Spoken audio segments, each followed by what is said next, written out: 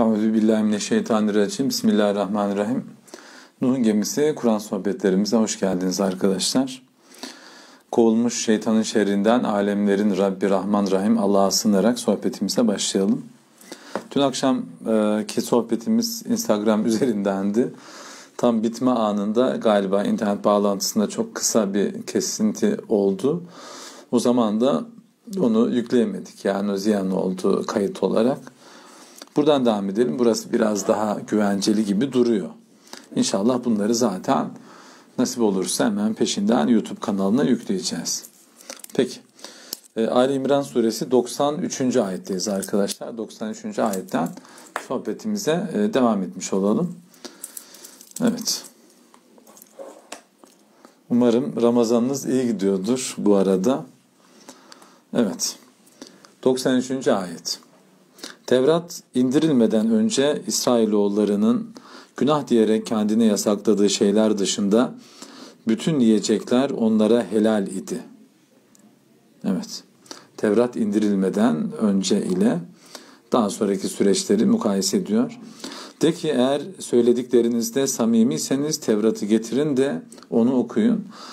E, Ali İmran suresi boyunca ehli kitapla e, bir hesaplaşma Kur'an-ı Kerim'de devam ede gelen bir hesaplaşma olarak karşımıza çıkıyor. O günde yani Medine toplumunda da bu bir ehemmiyet ifade ediyordu. Bugün de aslında ehemmiyet ifade ediyor. Baktığımız vakit yani belki dinlerin e, dünyadaki halklar nezdinde ilgisiyle alakalı bir takım tartışmalar sürüyor. Hani Türkiye toplumunda da bunlar sürüyor biliyorsunuz. İşte ilgi arttı mı, azaldı mı, işte ne bileyim bir yandan deizm tartışmaları filan biliyorsunuz. Tartışmalar hangi seviyede seyrederse seyretsin. Özür dilerim bir arama oldu sanırım. E, dinler bir şekilde e, insanlığın çok temel bir gündemi. Yani inananları olacaktır, inanmayanları olacaktır. Eyvallah ya buna bir şey demiyoruz. Ama o gün yani Medine'yi düşünün. Hazreti Peygamber ve arkadaşları oraya hicret etmişler. Bir kısım Medineli Müslüman olup onlara katılmış. Tabi orada ciddi bir potansiyel var işte Nadiroğulları, Kureyzoğulları filan. Efendim e, onların e, din anlayışları kültürler üzerinde yani Medine kültürü ve çevresel efendim e, coğrafyalarda, bölgelerde, Arabistan Yarımadası'nda ve onu da aşan bir etkiye sahip olarak ta işte Mısır'dır, Filistin'dir efendim hemen Habeşistan tarafıdır ve bağlantılı olarak da Hristiyanlık üzerinde çok etkili bir kültürel pozisyonları var, hegemonyaları var. Belki güçlü e, bugünkü tabirle güçlü ideolojik karşı çıkış oradan gelecek. Çünkü Mekkeli müşriklerin güçlü ideolojik argümanları yok. Çünkü e, ellerine bir kitap, bir vahiy söz konusu olmadığı için sadece kendilerini şekli anlamda, belki duygusal anlamda şeye bağlıyorlar. Efendim kime? İşte Hz. İbrahim'e falan bağlıyorlar ama bir kitapları yok. Dolayısıyla dinlerindeki bir e, dinlerinde bir sistematikten bahsetme imkanımız yok. E, bugün de yani e, özellikle Filistin meselesi bağlamında işte Yahudilik, Tevrat, İsrailoğulları güncel pozisyonunu koruyor veya daha öncesinde işte Almanya'daki katliamlar üzerinden pozisyonlarını koruyorlar veya bugün işte küresel sermaye ve imkanlar bir takım gizli açık oluşumlar bağlamında e, bunlar tartışmaların merkezindeler. Yani ister istemez işte Kur'an-ı Kerim'i savunan, İncil'i savunan, Tevrat'ı savunan veya şekli olarak oraya bağlı kalıp içeriğini değiştirmek suretiyle başka siyasi biçimlere sokan e, büyük kitleler, büyük siyasi güçler, ekonomik güçler ve oluşumlar olacaktır. Yani bunlar karşımıza çıkacaktır ve e, ilmi anlamda, siyasi anlamda, akademik anlamda müzakereler bir şekilde ne yapacaktır? Devam edecektir arkadaşlar. Kur'an onlara meydan okuyor. Bakın yani Tevrat'taki e, efendim veya İncil'deki yani ehli kitabın tutarsızlıklarına meydan okuyor. Çok güçlü bir efendim söylemle, argümanla yola çıkıyor. Ve bu da Müslümanlarda ne yaratıyor? Kendinden bir e, emin olma hali yaratıyor. Bugün de böyle olmalı. Yani bugün özellikle işte kapitalizm bağlamında veya kapitalizmin işte değişik işte varyantları bağlamında veya kapitalizme karşı çıkan farklı ideolojiler efendim sosyalizm dolayımında farklı ideolojiler bağlamında e, Müslümanların veya siyasal başka e, ideolojiler bağlamında Müslümanların büyük bir özgüvene sahip olması, Kur'an-ı Kerim'e yaslanarak bu eleştirileri göğüslemesi, karşılaması, kuşatması ve bu insanlara muarızlarına hakikati iletmesi gerekiyor. Aslında burada yani bizim için temel mesele budur diye düşünüyorum. Kendi inancımızda durduğumuz noktada biz nasıl bir şeye sahibiz? Arkadaşlar, nasıl bir e, özgüvene sahibiz? Bu özgüven sahibi olmak çok önemli. Yani şimdi çok e, mevzu açıldı da tabii biz o tarihsel e, bazı alanları e, efendim e, imleyen mevzularmış gibi görülen meseleleri bugünkü karşılıklarıyla anlamaya çalışmalıyız. Şimdi e, birçok Müslüman işte günümüzde popüler mevzular işte ekonomi meselesi çok önemli. Çevre meselesi, ekoloji meselesi çok önemli. İşte kadın meselesi çok önemli. Buna benzer bağlantılı birçok mevzu var. Ve Müslümanlar yani Kur'an'dan yola çıkarak bu meselelere cevap belki layıkıyla üretemiyorlar toplama baktığımız zaman.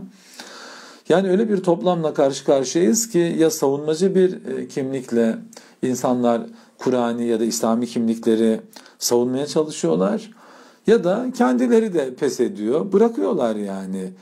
Hani o, e, Kur'an'ın mesajını e, büyük bir özgüvenle savunacak efendim bir bağlanma, bir anlama, kavrama ve onu yeniden bugünkü efendim insanlığa efendim sunabilecek bir e, seviyeye ulaşamadıklarından olsa gerek tabiri caizse mücadeleyi yani pes etmek suretiyle ne yapıyor? E, kaybetmiş oluyor.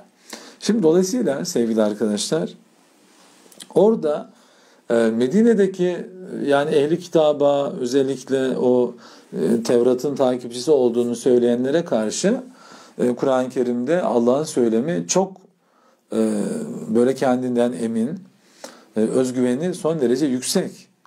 Yani hegemonik bir şeyi var yani pozisyonu var. Yani o söylem kesinlikle alttan almıyor. Kendisinden o emin olma halini yansıtıyor. Ve artık bundan sonra kim Allah hakkında yalan uydurursa işte onlar zalimlerdir. Onları bu şekilde suçluyor. Bakın bu ayetler yanlış anlaşılmasın. Yani onlara zalimlerdir derken onları işte hesap soracağız, işte cezalandıracağız filan değil. Zalim e, yeryüzünde karanlığı yayan kişi demek. Eğer karanlığı yayar, bir ifsat mekanizması oluşturur, e, ıslah cephesinin karşısında yeryüzünde kötülüğü yaygınlaştırır, insanları, efendim diğer varlıkları bu kötülüğün içine sürüklemeye çalışırsa eğer yani Allah ve Müslümanlar ve Kur'an onun hesaplaşır. Ama inanmıyorsa yani kendi halindeyse e, zulümde, kötülükte, öncülük, e, örgütlülük şeklinde bir tavır e, takınmadıysa onu kendi haline bırakıyor tabii ki bu dünya hayatında. Hiçbir şekilde bir düşmanlaştırma söz konusu değil. Bunları birbirinden ayırmamız gerekiyor sevgili arkadaşlar. 95. ayetten devam edelim. De ki Allah doğruyu söylemektedir. O halde batıl olan her şeyden yüz çeviren ve Allah'ın yanı sıra hiçbir şey ilahlık yakıştırmayan İbrahim'in inanç sistemine uyun. Bakın ne diyor? Tekrar edelim. O halde batıl olan her şeyden yüz çeviren ve Allah'ın yanı sıra hiçbir şey ilahlık yakıştırmayan İbrahim'in inanç sistemine uyun. İbrahim'in inanç sistemi e, nasıl bir şart taşıyormuş? Efendim e, batıl olan her şeyden yüz çevirme şartını taşıyor. Bu bir. Bu çok önemli. Allah'ın yanı sıra hiçbir şey ilahlık yakıştırmayacak. Yani bir şirk inancı içerisinde olmayacak. Efendim Allah'ın oğluydu, sevgili kullarıydı, bilmem nesiydi, şuydu, buydu filan yok. Hiçbir şekilde herhangi bir biçimde bir şirk efendim unsurunun inanç sistemine dahil olmasını Cenab-ı Allah kabul etmiyor. Dolayısıyla Hz. İbrahim'in sevgili arkadaşlar o e, hanif oluşu mesela ne diyor? Millete İbrahim'e hanifen. Evet. Yani tevhidi bir çizgide oluşu vurgulanıyor ve özellikle millet kavramı da burada çok ilginç tabii ki. İnanç sistemi olarak yani din olarak geçmesi çok önemli. Özellikle Osmanlı'daki modernleşme ile birlikte aydınların işte ulus anlamında biraz hani nation filan e, karşılaması olarak millet kavramını bu bağlamından kopartıp efendim siyasi literatürde o şekilde ulus kavim anlamında kullanmaya başladıklarını görüyoruz. Bugünkü e, siyasi atmosferde de özellikle mevcut siyasi iktidarın dilinde millet söyleminin özellikle pekiştirilerek kullanıldığını görüyoruz. Halbuki millet e, kelimesi kavramı burada arkadaşlar ne diyor? Millete İbrahim diyerek İbrahim'in milleti, İbrahim'in inanç sistemine uyun. Kim olursanız olsun.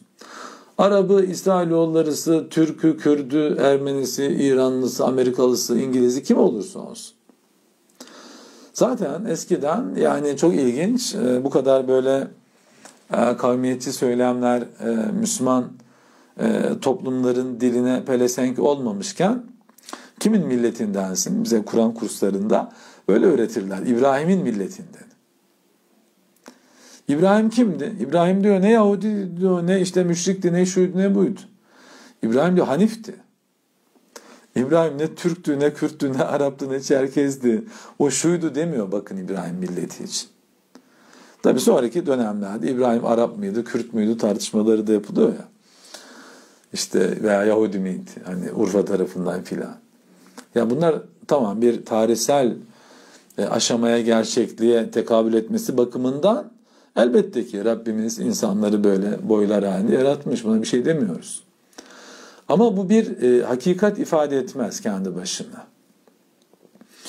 Hanif olursan, dost doğru yol, dost doğru tevhid inancı ve yolu üzere olursan bir kıymetin var. Bak bu Kur'an-ı Kerim evrensel değil mi? Evrensel bir mesaj. Yani Güney Amerika'daki insanlar da buna inanır, Sibirya'daki insanlar da buna inanır. Hepsi farklı kavimlerdendir o hesaba bakarsak. Ama Kur'an-ı Kerim onlara ne diyor? Hepiniz İbrahim'in milleti üzerine olun o dini çizgi, ahlaki değerler sistemi üzerine olun diyor. Evet.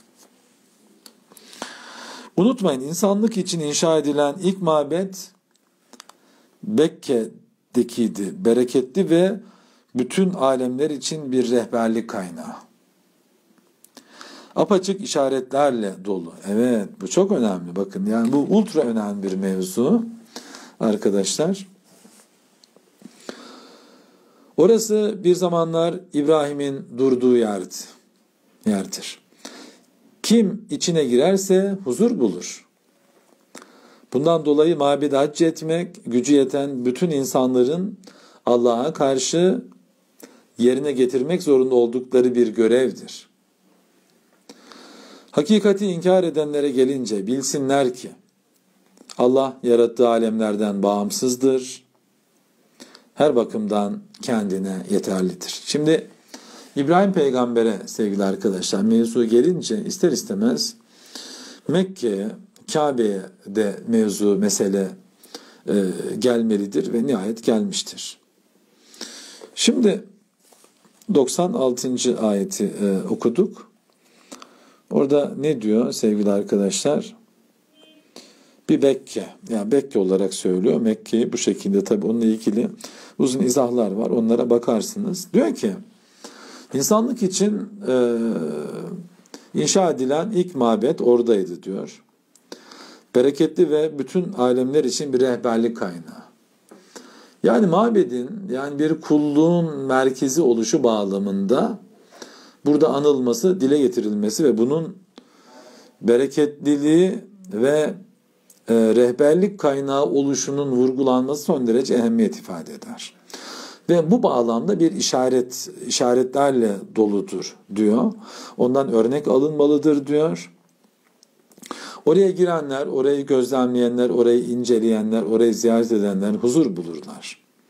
O yüzden bu örnekliği hac etmek, orada küresel bir kongre bağlamında Müslümanların hac için oraya gitmesi diyor Allah'ın onlar üzerindeki bir hakkıdır diyor, bir yükümlülüğüdür diyor. Şimdi arkadaşlar, Mescid-i Haram olarak bilinir Kabe, Hazreti İbrahim, İsmail orayı inşa ediyorlar. İnsanlık için bir model olarak inşa ediyorlar. Bakın bu çok önemli bir şey. Mescid-i Haram daha sonra biliyorsunuz Hazreti Peygamber Medine'ye hicret ettikten sonra e, Medine'nin sınırlarını filan belirliyor, çevreliyor.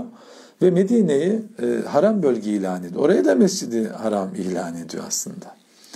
Çünkü mescid secde edilen yer yani Allah'ın otorite olarak kabul edildiği yer. E, Allah'a kulluk yapılması gereken yer. Şimdi e, ne yaptı? Adeta bir klonlama gibi Mekke'deki bu modeli Peygamberimiz Medine'ye taşıdı. Şimdi Mescidi Haram ya haram bölge neresi? Biliyorsunuz Kabe ve etrafı işte filan haram bölge orada öldürme olmaz. Malınız, can, canınız, namusunuz, haysiyetiniz, itibarınız korunur. Garanti altındadır. Yani herkesin uzlaştığı bir garanti altındadır. Şimdi şekilci olarak gidersek bu özelliği sadece Mekke'deki Mescid-i Haram için yapmış oluruz. O Kabe için yapmış oluruz. Bunu bir model olarak aldığımız zaman Hazreti Peygamber gibi Mekke'den, Kabe'den Medine'ye taşıdığımız zaman işler değişir. Oraya taşınıyorsa başka yere de taşınabilir demektir bu. Tabii ki Kabe'nin özel konumu itibariyle orada olması gerekir. Zaten o sabit bir yerde olacak ki herkes o örnekliği oradan alıp kendi coğrafyasına, başka coğrafyalara taşıyacak. Bu yanlış anlaşılmasın. Haşa oranın iptal edilmesi anlamında değil. Tabii ki biz Kabe'nin taşına, tipine tapınmıyoruz arkadaşlar. Böyle bir şey söz konusu değil. O modelin ruhunu anlamaya çalışıyoruz. Nasıl Hazreti Peygamber Medine'ye o modelin ruhunu klonladıysa, taşıdıysa, transfer ettiyse biz de bugün gücümüzün yettiği coğrafyalara, bölgelere bu modeli taşıyacağız. Ne yapacağız? Mesela bir ne bileyim e, Müslümanlar olarak bir yer kurdunuz. Darül Erkam gibi. Dernektir, vakıftır veya isimsiz başka bir yer kurdunuz. Orası bir haram bölge. Değil mi? Kendi haneniz bir haram bölge.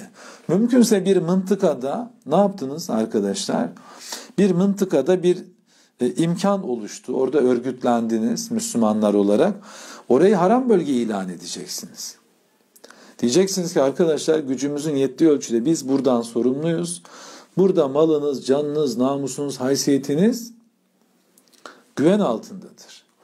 Hani şimdi böyle işte özellikle e, kadınlar dan bazı gruplar eylem falan yapıyor. İşte gece sokağa işte çıkma hakkımızı yasaklayamazsınız. Hakikaten çok doğru yani.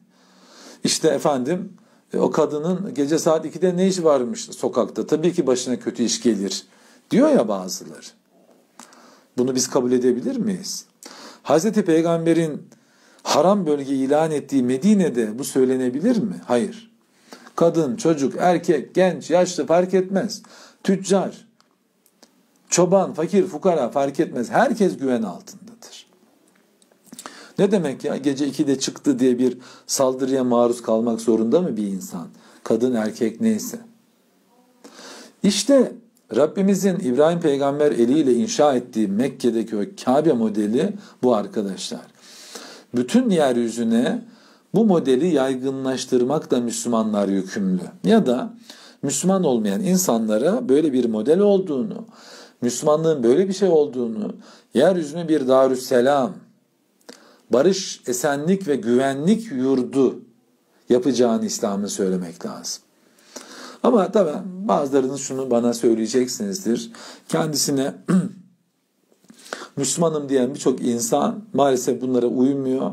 Yeryüzüne barış, güvenlik, dayanışma, esenlik yurdu yapmak bir yana fitne ve kaos yurdu yapıyor. Evet böyle yapıyorsa orada Müslümanlık yok demektir. Orhan Seyyid Kutub'un tabiriyle bir cahiliye toplumu demektir. Bu kadar keskin ve net. Bunu bilerek yapıyorsa, terörize ediyorsa, bir kaos iklimi var ediyorsa nasıl oraya bir İslam beldesi, bir İslam'ın barış, esenlik, güven, dayanışma yurdu nitelemesi yapılabilir? Yapılabilir mi? Asla yapılamaz. Bunun şartı bu arkadaşlar. Bakın e, Müslümanlığın hani bir takım şartları sayılıyor ya şöyle yapmak böyle yapmak filan. Bütün bu şartlar nereye akmalı? İşte Kabe modelini Medine'ye taşıyan Hazreti Peygamber'in örnekliğini anlamaya akmalı. Niye Peygamberimiz Medine'yi haram bölge ilan ediyor? Saygın, hürmete layık. Oradaki insanlar, peki orada kimler var? Müslümanlar mı var sadece? Size soruyorum yani Medine'de kim var? Müslümanlardan daha çok müşrik Araplar var. Daha çok efendim Nadiroğulları, Kureyzaoğulları, Kaynukoğulları denen Yahudi boyları var. Ama hepsini haram bölge içerisine dahil ediyor Hazreti Peygamber. Onlara da diyor ki bizden en azından size zarar gelmez. Başka yerlerden zarar gelirse de zaten sizinle anlaşıyorum, sözleşme imzalıyorum. Başka yerden gelecek zararı, saldırıyı birlikte göğüsleyeceğiz. Görüyor musunuz haram bölge olmanın dinamiklerini? Ha burada şöyle bir yanlış anlaşılma olmasın. Burada efendim herkes Müslüman olursa ancak haram bölge güvenli bölge olur. Hayır. Ama Müslümanlar buna öncülük yapmakla yükümlü. Kimse yapmıyorsa bile onlar yapacak. Zaten bakın Medine hicretten sonra kimsenin yapmadığına peygamberimiz önderlik yapıyor. Yoksa onlar peygamberden önce zaten oradalar yapmamışlar ya. Yani. Maalesef yapmamışlar. Mesela Es ve Hazreç kabileleri o onlarca yıldır savaş halindeler. Zaten oradaki Yahudi kabileleri Arapları küçümsüyor ve kendi aralarında da Yahudi kabileleri aslında yekpare değiller. Yani o toplumda zaten bir dayanışma o şehirde söz konusu değil. Bakın Müslüman olmak zorunda değiller. E, Müslümanlar da tabii ki onların dinine uyacak halleri yok. Ama sözleşme imzalayabilirler. Anlaşma imzalayabilirler. Dayanışma içerisinde olabilirler. Ve diyebilirler ki arkadaşlar biz burada barış adalet içinde niye bir arada yaşamayalım ki? Neden gece 2'de sokağa çıkmaktan korkalım?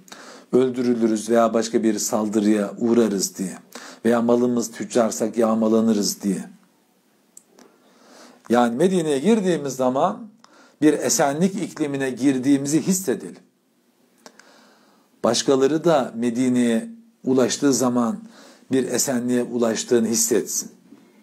Evet burada bizim malımıza, canımıza, ırzımıza, haysiyetimize tasallutta bulunulmaz desin.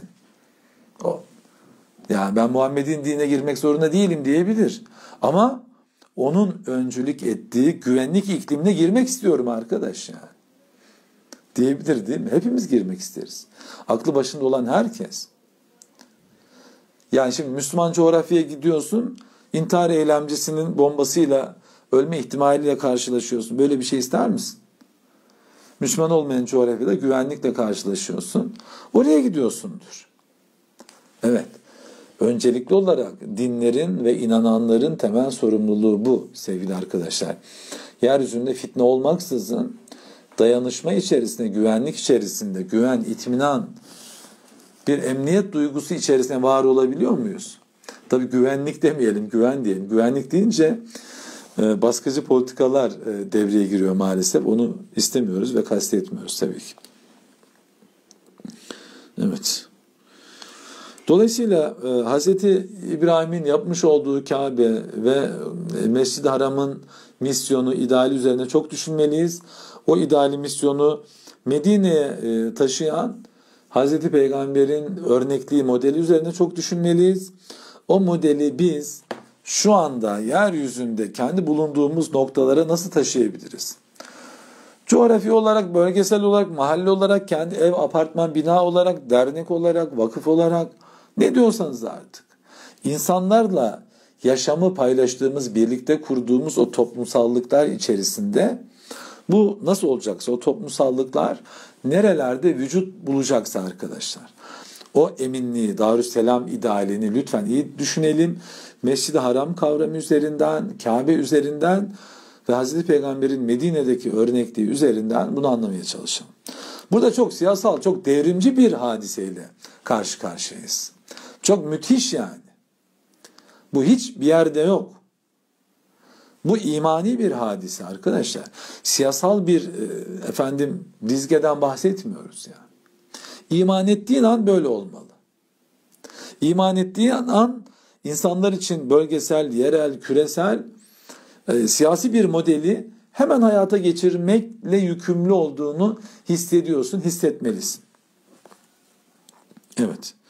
98. ayet biraz burayı uzun e, tuttum. Bu yine e, gündeme geldiği zaman üzerine durmaya çalışacağım.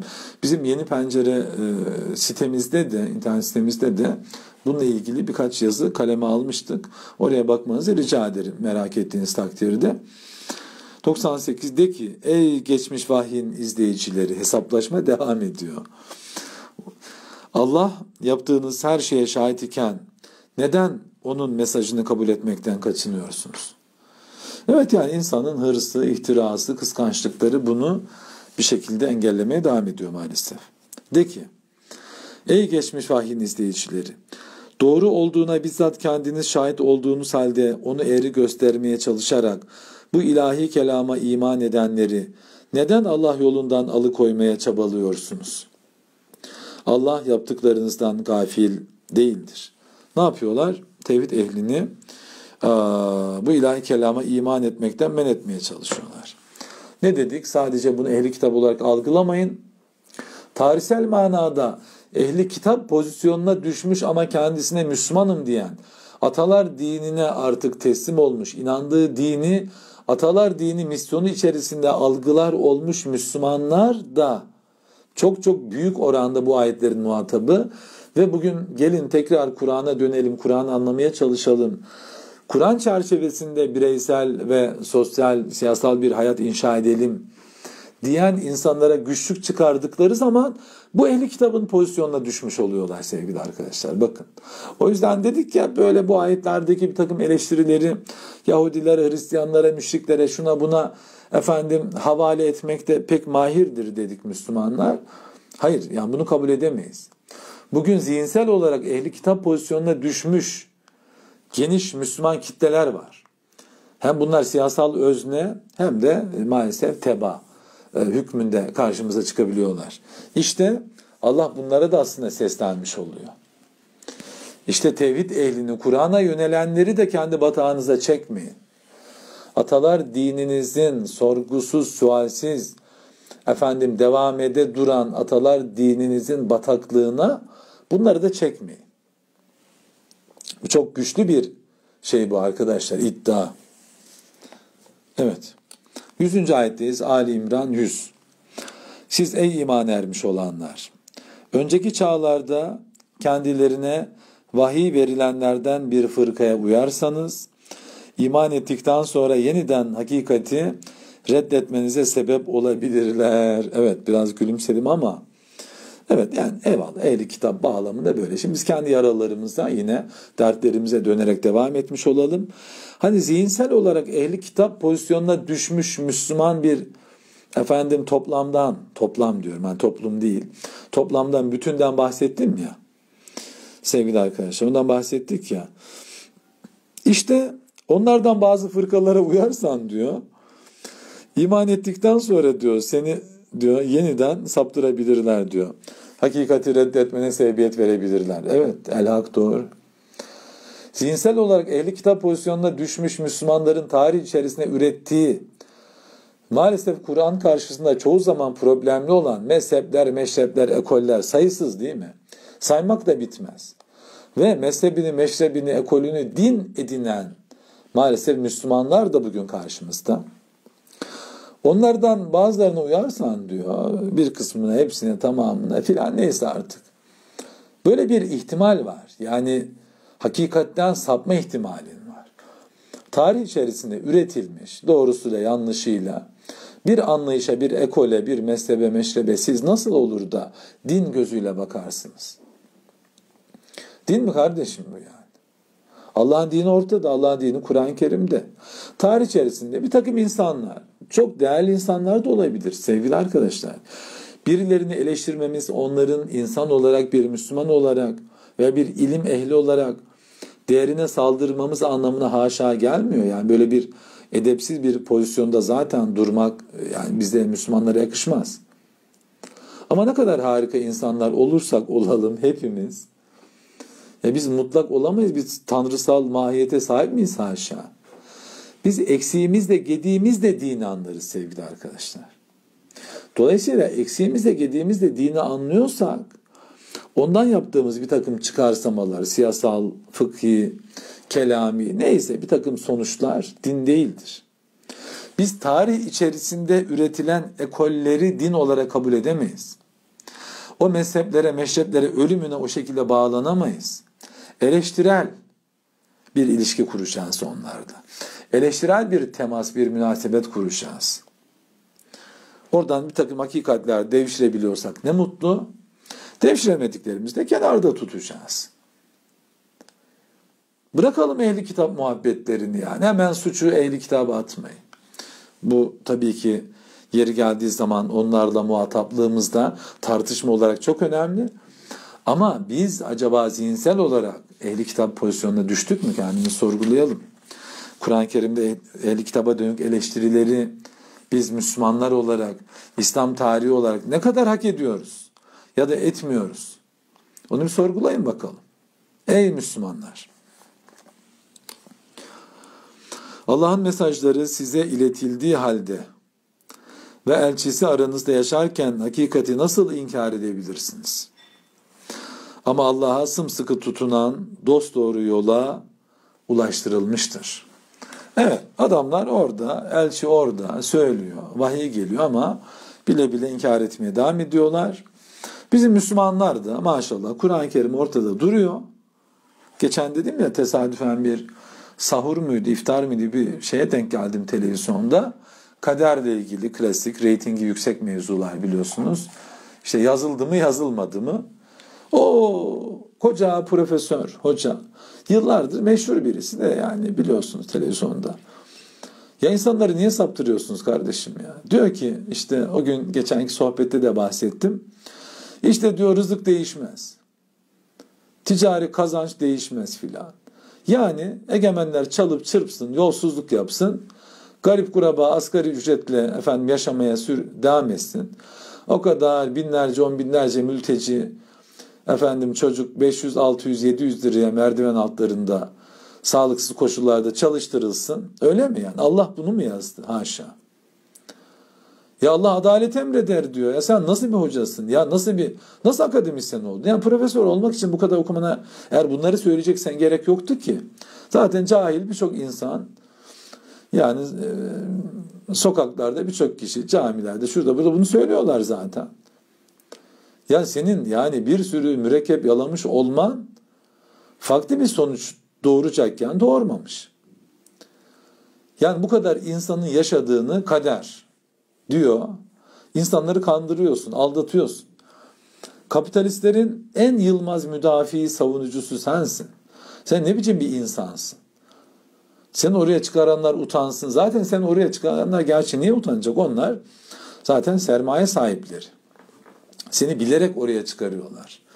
Ki insanlara yaşadıkları durumu Allah'ın bir takdiri olduğu şeklinde efendim bir inançla onlara kabul ettir diye çıkarıyorlar. Sana da para veriyorlar. Sen aldığın paranın hakkını zaten e, veriyorsun maşallah yani. Bu maşallah da bu ironik. Dolayısıyla sevgili arkadaşlar bu e, Emevi, bu efendim e, Yezid dini yani hakla batılı harmanlayarak insanları aldatmaktadır. Zulmün payidar olmasını, efendim sömürünün payidar olmasını amaçlamaktadır bunlar. O yüzden nerede bir kalkışma varsa, nerede bir hak hukuk arayışı varsa onları desteklemek bizim için imani bir yükümlülüktür. Şimdi 1 Mayıs geliyor. İşte 1 Mayıs'ı yasaklamışlar. Önceden de 1 Mayıs yapamıyorsun, sonrasında da yapamıyorsun. Ta 17 Mayıs'a kadar 1 Mayıs içerikli bütün etkinlikler yasaklanmış filan. Yani gözaltına almışlar bir takım insanları. İşte şey dağıtıyorsunuz diye, bildiri dağıtıyorsunuz 1 Mayıs filan diye. Bırakalım ya adamla işte kod 29 diye bir ahlaksız uygulama çıkarmışlar. İşçileri atamadıkları işçileri işten atıyorlar. Tazminat vermekten de kurtuluyorlar. Çünkü öyle işaretledikleri için ahlaksızlık suçlamasıyla. Nereden karara vardın kardeşim? Mahkeme mi kurdun? Yani delil filan mı topladın? Güya pandemi döneminde işten atmak yasaktı. Böyle bir kılıf. Ya böyle bir şey var mı? Yüz binlerce insanı işten atıyoruz. Bu insanlar zaten işteyken de aldıkları para asgari ücret yani. Allah'tan kork. Sizin işte bütün bu zulümlerinizi az evvel söylediğim hoca kılıklı efendim e, bir takım kişiler meşrulaştırmaya Allah'a havale. Allah zulmetmez diyor Kur'an-ı Kerim'de. Allah adalet emreder diyor ya. Ama işte okuduğu Kur'an'ı anlamıyor. Ya da anlamak istemiyor. Kendi kafasındaki bir takım efendim çıkar ilişkilerinden oluşan bir takım yargıları bu Kur'an'dır diye satıyor. Egemenler de onları finanse ediyorlar. Sadece burada değil. Yeryüzünün her noktasında. Yani Allah'ın kitabı insanları adalete, özgürlüğe, haysiyetli bir yaşama taşıyacakken maalesef Allah'ın eliyle sefalete mahkum ettiriliyor sevgili arkadaşlar. Bunlara karşı ne yapacağız? Uyanık olacağız. Evet. Yani Allah'ın elçisi aranızda diyor o günkü insanları. E bugün Allah'ın mesajı aramızda. Allah'ın elçilerin takipçileri aramızda. Evet. Devam edelim. Ee, neredeyiz? 102'den devam edelim. Unutuyoruz da böyle çok konuşunca.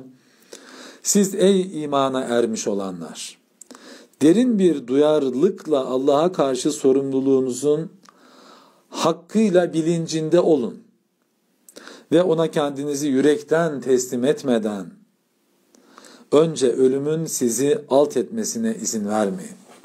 Ya öleceksiniz de bir şekilde hele de bu ara insanlar patır patır ölüyorlar. Rabbim muhafaza buyursun böyle efendim belalardan, hastalıklardan. Yani ölüm diyor kaçınılmaz. Ya diyor Kur'an ricada bulunuyor tabiri caizse. Bakın ne kadar naif bir çağrıda bulunuyor. Ya diyor ki e, takva ehli olun. Allah'a karşı sorumluluğunuzun bilincinde olun.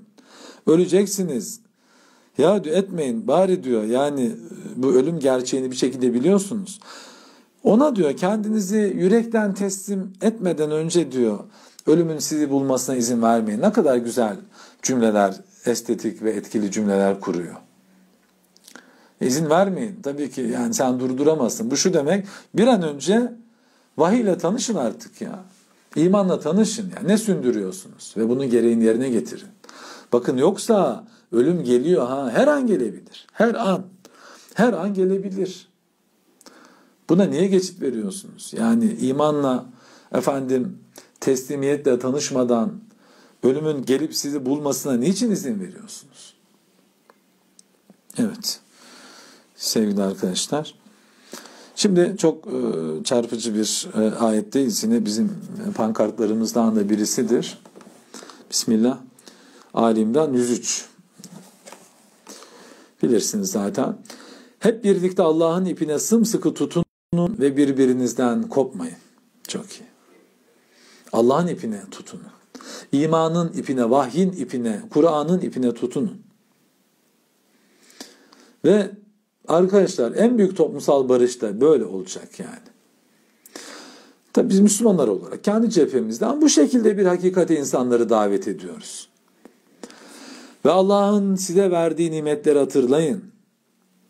Siz birbirinize düşman iken kalplerinizi nasıl uzlaştırdı da onun lütfu ile kardeş oldunuz. Ve ateşli bir uçurumun kenarındayken sizi ondan nasıl korudu? Evet. Şimdi o özellikle e, işte Orta Doğu, Suriye meselesi, işte e, Arap, Kürt, Türk unsurlar, işte Şii, Sünni unsurlar, işte Süryani, Keldani, bir sürü bölgede Farisi unsurlar filan filan. Yani Orta Doğu'da bütün kavimler biliyorsunuz, şehirler. Bize tam o yani 3-4 sene önceki o kaotik ortamdaki kaotik ortamlar bitmedi de öyle bir pankart hazırlamıştık. İşte Kobani süreçleri, işte Kobani, Bağdat, Nusaybin, efendim bizim Türkiye içinde de öyle çatışmalar biliyorsunuz vardı. İstanbul, yani Bağdat, Şam, Mekke, bütün İslam toprakları, İslam toprakları diyerek hani bu bölgede yaşayan Müslüman olmayan insanları dışlama anlamında kesinlikle aşağı söylemiyor. Yani Kahir ekseriyet olduğu için söylüyor. Orta Doğu coğrafyası, bütün halklarımız Müslüman olsun olmasın. Yani evet, bütün bunlar için yani çözümümüz, bizim Müslüman olarak teklifimiz bu. Hep birlikte Allah'ın ipine sımsıkı tutun. Müslüman olmadan da Allah'ın ipine tutunabilir. Peygamberin efendim elini yakalayan, o sözleşmeyi imzalayan herkes gibi. Şimdi alimlere rahmet olarak gelmiyor mu? Allah Resulü gönderilmiyor mu? Müslüman olan olmayan herkese bir barış çağrısı, bir dayanışma, bir adalet, bir güven, bir emniyet toplumu, toplumsallığı var etmek için geliyor. Ve o zaman onlar da Allah'ın ipine sımsıkı sarılmış oluyorlar. Gönül ister ki hepsi imana teslim olsun. Vahye teslim olsun. Teslim olmadı diye onu dışlayıp onun kaotik bir sürece mahkum olmasına izin vereceğiz. Hayır. Ona da elimizi uzatacağız. Onunla da birlikte ortak bir dayanışma ağı kuracağız. Onlar hepsi bir ümmetti diyor, sayıyor. Yahudi kabileleri sayıyor, müşrik kabileleri sayıyor, Müslümanları sayıyor. Medine Sözleşmesi'ni kastediyor. Çünkü ümmet olmak, örgütlü olmak demek. Yani belli bir alanda örgütlenebiliriz. Mesela şu bizim mahallede çöpleri belli günlerde mahalle halkı olarak toplamak hususunda örgütlü olabiliriz. O konuda ümmetiz demektir yani. Ümmet olmak, örgütlü olmak demek. Müslümanlara niye ümmet diyoruz hep bir, bir anda? Müslümanlar her ne kadar bu örgütlü olmaktan uzak kalsalar da Müslüman oldukları için otomatikman örgütleniyorlar ve aralarındaki hukuk ancak diyor Kur'an-ı Kerim kardeşlik hukukudur. Ya nasıl örgütlendiler? Ama maalesef bu örgütlülüğün bilincinde ve tadında değiller. O ayrı hikaye tabii çoğu insanlar. Evet. Bu çok önemli bir ayet. Bu ayetin e, çağrışımları çok önemli. İçinde yaşadığımız ya da yaşamadığımız bütün toplumlara müthiş bir davet olarak, çağrı olarak arkadaşlar bir kurtuluş, bir dayanışma çağrısı olarak bu ayet ve bu ayetten yola çıkarak bir e, gelecek modeli nasıl inşa edebiliriz, üretebiliriz'i konuşup tartışmamız, değerlendirmemiz lazım. Evet. Bu şekilde Allah mesajlarını size açıklar ki hidayet bulasınız. Açıklıyor. Hadi bakalım biraz topa girin yani. Ve belki içinizden iyi ve yararlı olana davet eden, doğru olanı emreden, eğri ve yanlıştan alıkoyan bir topluluk çıkar. Oo. Nihai kurtuluşa erişecek kimseler işte bunlar olacak. Tekrar edelim parça parça. Yani iyiye, güzele davet edecek, doğru olanı emredecek, efendim. Ee, ne yapacak sonra? Böyle bir topluluk ortaya çıkacak. Yani emri bil maruf, nehyanil münker misyonu. İşte ancak böyle bir topluluk nihai kurtuluşa erecektir diyor.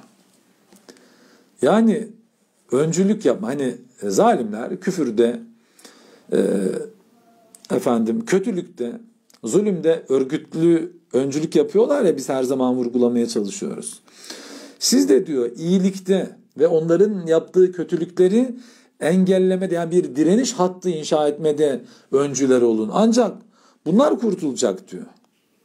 Bak nihai kurtuluşa erişecek kimseler işte bunlar olacaktır. Yani bütün Müslümanlar aslında bu sorumlulukla mükelleftirler. Bunu yapmalıdırlar. Bütün insanlık için, bütün insanlık için örgütlü iyilik erleri olmalıdırlar bunlar. Yoksa bir anlamı yok yani. Hiçbir şekilde yok. Yoksa Müslümanım demenin bir karşılığı yok arkadaşlar. Örgütlü kötülük güçlerine karşı örgütlü direniş güçleri olacaksınız. Bu kadar basit. Ama sesini soluğunu çıkarmazsan yani o zaman Rabbimiz buna pek vallahi onay vermeyeceğini söylüyor. Aslında e, yavaş yavaş e, bitirsek mi acaba diye düşünüyorum ama şu pasaja kadar okuyayım mı? Okuyayım biraz hızlanalım. Hakikatin bütün kanıtları kendilerine geldikten sonra karşıt görüşlere kapılıp parçalananlar gibi olmayın. İşte bunlar için feci bir azap vardır. Yani hakikatin kanıtı gelip de nasıl temel meselelerde Müslümanlar değil mi? Veya geçmiş vahyin mensupları ayrışabilir anlamak imkansız. Bazı yüzlerin mutluluktan parladığı ve bazı yüzlerin acıyla karardığı o hesap gününde yüzleri kararanlara iman erdikten sonra hakikati inkar mı ettiniz? O halde hakikati inkar ettiğiniz için tadın bu azabı denilecek. Nur yüzlülere gelince onlar Allah'ın rahmet dairesi içinde olacaklar. Orayı mesken edineceklerdir. İnşallah. Çok güzel ifadeler var hakikaten. Ne diyor? Bazı yüzlerin diyor mutluluktan parladı, ışıl ışıl arkadaşlar böyle gün. Bazı yüzlerin de diyor acı, acıdan karardığı bir gün. Beklentisi kaybolmuş, umut yüzü düşmüş, yüzünde hiçbir heyecan, motivasyon gözlerinde kalmamış. Böyle tabi hesap günü böyle yani kazananlar ve kaybedenler. Evet. O, o gün de diyor e, yüzleri kararanlara iman erdikten sonra iki kat inkar mı ettiniz? Bir de orası var ya ehli kitaba böyle sesleniyor. İmana ermişler, vahyi arı duru almışlar, sonra bozmuşlar, müdahale etmişler ona. Hemen gelelim. Zihinsel olarak ehli kitaba dönüşen Müslümanlardan da böyle geniş kitleler, topluluklar, çizgiler, gruplar yok mu? Hele el an içinde yaşadığımız İslami siyasal süreçlerden egemen düzenlere sapı veren kitleler, kişiler, gruplar yok mu? Nasıl olmuş yani? Oluyormuş demek. Yani böyle bir şey olmaz diyorduk önceden. Bunlar Allah'ın mesajlarıdır. Hakikati bildiren bu mesajları sana iletiyoruz. Zira Allah yarattıklarının haksızlığa uğramasını dilemez. Son ayet, evet buraya da okuyalım ve bitirelim. Göklerdeki ve yerdeki her şey Allah'a aittir. Her şey. Egemenlik ona ait. Öyle bir takım sahte egemenlik iddialarıyla ortaya çıkar insanlar. Efendim, dünya yaratılalı beri. Ona asla prim vermeyeceğiz. Ve hepsi asıl kaynağı olan Allah'a döner. Ne diyor arkadaşlar? Ve ilallahi turceul umur. Demek ki bütün dönüşler ona ise hayatın anlamına dönük bütün tartışmaları, bütün felsefi, düşünsel, sanatsal neyse varoluşsal tartışmaları yeniden ve yeniden hepimiz, herkes gözden ve elden geçirmelidir. Bütün insanlığın bu çabası oraya akmalıdır. O anlam denizine dökülmelidir. Irmaklar gibi sevgili arkadaşlar. E, bu videoyu yükleyeceğim e, bu akşam YouTube'a. Oradan e, bakabilirsiniz veya paylaşabilirsiniz. Efendim arzu ederseniz. Arkadaşlar e, burada bitirelim. Hepinize Allah'a emanet ediyorum. Allah oruçlarınızı kabul etsin. Ramazan ayınız mübarek olsun. Kur'an'la hemhal olmaya, Kur'an'la direniş hattı, hatları örmeye devam edelim. Selamünaleyküm, hoşça kalın, Allah'a emanet olun.